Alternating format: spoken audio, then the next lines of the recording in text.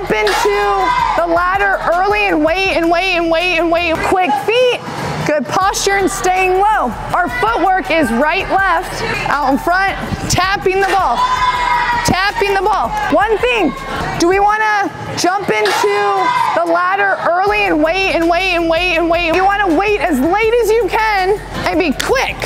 Do we want to flip the ball? What does that mean? If I'm flipping it back to Faith, what does that mean I'm doing? You're flipping your glove up. So keep that bare hand out before we even start, right, left, and just bring it down.